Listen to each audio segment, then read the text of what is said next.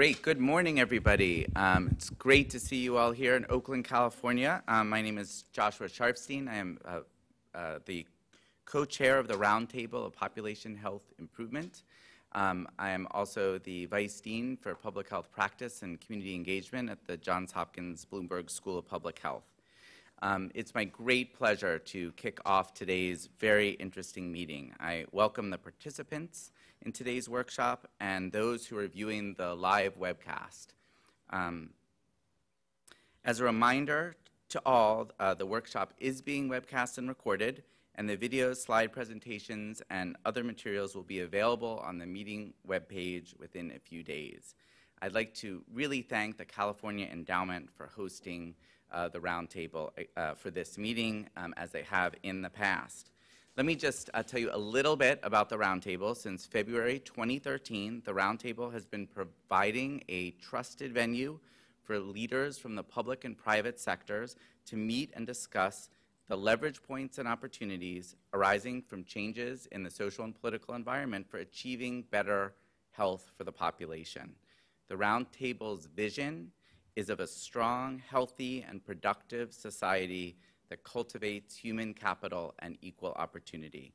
The vision rests on the recognition that outcomes such as improved life expectancy, quality of life, and health for all are shaped by social, economic, environmental, genetic, behavioral, and healthcare factors, among others, and require robust national and community-based policies and resources to achieve it.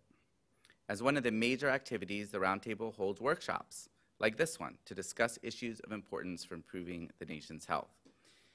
Today's topic is school success, an opportunity for population health action, and it follows two workshops uh, that the Roundtable has already had and are available on the website. One called Exploring Opportunities for Collaboration Between Health and Education in 2015, and a 2017 uh, workshop on exploring early childhood care and education levers to improve population health.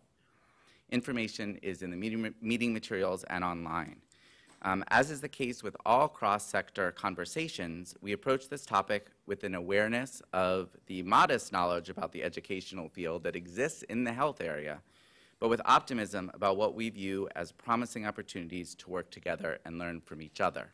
Now, um, I'm a pediatrician by training, and when I think about particularly school-age populations of children, it occurred to me uh, through seeing children that one of the easiest ways for me to figure out how a child is doing from a health perspective and how a population of children are doing from a health perspective is to understand how they're doing in school. It is so unbelievably reflective of their health and critical for their future and their future health. And uh, yet, in pediatric practice, I knew very little about how the kids that I took care of were doing in school. And there was a big divide between health and education, a divide that is starting to break down. And hopefully today we're going to take a big uh, whack at that barrier and really open up the conversation, particularly about what health can do and public health can do to improve educational outcomes.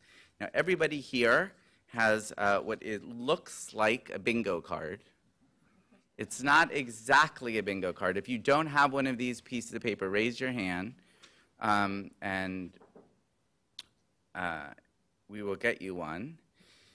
Let me just explain what this is, and people watching online can follow at home too, um, and can and work on this. We were going to collect these at the end because we want your edits, your thoughts. This is a tangible, concrete outcome, among others, from today's meeting.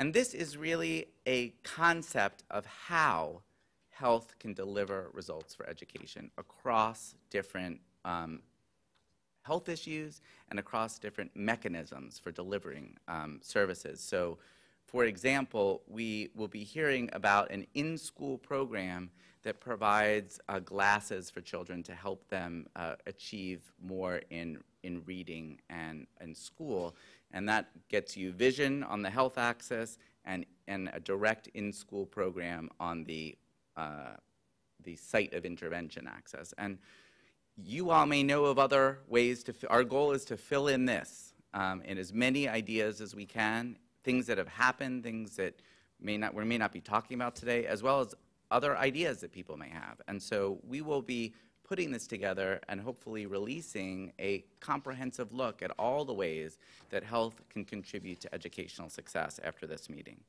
Um, I would like to uh, thank the Planning Committee for all their work putting this together, and that includes Alex Bu, Mark Goravich, Robert Kahn, Robert Kaplan, Phyllis Meadows, Elena Rivera, and Heidi Schumacher. Um, for them and the speakers are uh, in the electronic meeting materials and available on the website. I also want to particularly thank the staff of the Roundtable, including uh, uh, um, Alina um, Baciu, um, Carla Alvarado, and Kimani Jones for their terrific work organizing uh, this event. Please uh, join me in thanking them.